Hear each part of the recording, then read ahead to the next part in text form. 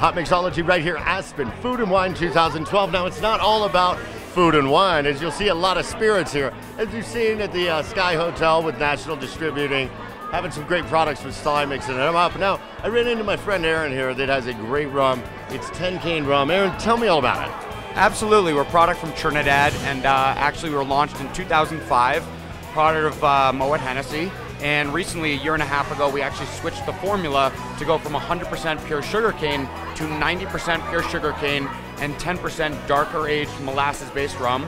Well, actually, all of the sugarcane, basically, when it was 100% pure sugarcane, it was basically a cachaça.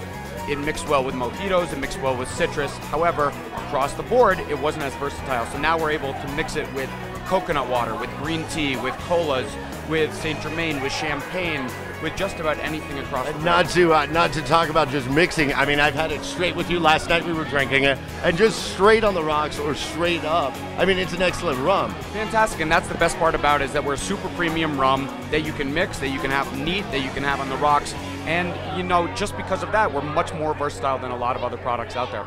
I couldn't have said it better myself. We're at the Aspen Food and Wine 2012 with 10 cane rum and my friend Aaron. Salute, everybody.